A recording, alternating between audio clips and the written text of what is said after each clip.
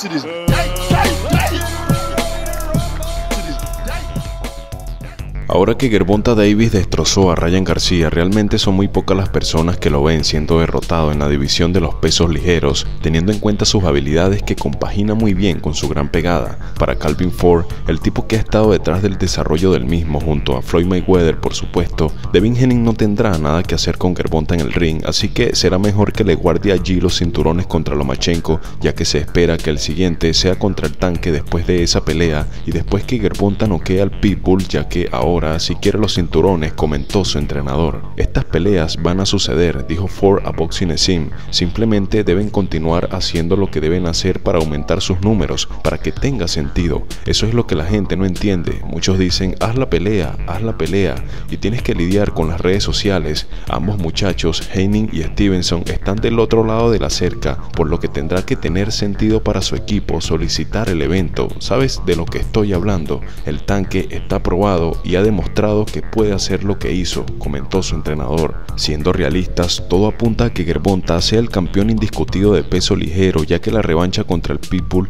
lo más probable es que la gane y más si llega con sus dos manos en óptimas condiciones, como dijo Beristain. Y si se enfrenta a Henning, el propio Gervonta lo ha dicho, que es un chico que ni siquiera puede hacer sangrar a sus oponentes, así que esa pelea será cuestión de tiempo para que lo envíe a la lona, ya que de paso tiene un poco floja la mandíbula y con Lomachenko habría que ver cómo sale de la pelea con Henning. Para mí el reto más difícil que tiene Gervonta en esa división, si todo marcha tal cual lo expuesto por su entrenador Calvin Ford, será Shakur Stevenson, un tipo con una inteligencia igual o superior a la del tanque y que si ve en su última pelea, cada vez más se vuelve más difícil el que lo encuentren con un buen golpe y sí que comprende a la máxima expresión de la palabra el control de su distancia, por lo que no le dejaría ni un poquito de chance o de ventaja a Gervonta. Ford también dijo, de nuevo, tiene que tener sentido para todos. Sabemos que cuando se sienten a la mesa verán lo que hiciste, van a mirar tus datos reales y van a decir, ¿tiene sentido hacer esta pelea? O dices que realmente quieres esa pelea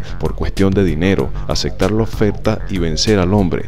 Tan es el hombre. En mi opinión, no creo que Henning tenga nada realmente que pueda detener a Tan, dijo Ford. Sabes, él no me ha demostrado nada todavía con lo que yo pueda decir, wow, ¿entiendes lo que estoy diciendo? Detalló Ford haciendo referencia a Devin Henning, quien en ese sentido considera que lo único que tiene Henning son los cinturones de la división y un mínimo de valor por haber enfrentado a George Camboso en Australia, pero sabemos muy bien que Gervonta no es Camboso y que hasta el propio Ryan García pudo haberle ganado al europeo. Unas duras palabras de uno de los hombres que está detrás de la creación del gorila humano de peso ligero, quien ahora espera por lo que sucederá en este combate del 20 de mayo de Henning y Lomachenko para saber qué hacer en la segunda mitad del año. Para muchos tiene mucha razón Calvin Ford y es que como refutarlo se han demostrado con resultados lo que son y para otros creen que Henning sí podría ganarle al tanque usando su jab. Para mí está bien pero bien difícil.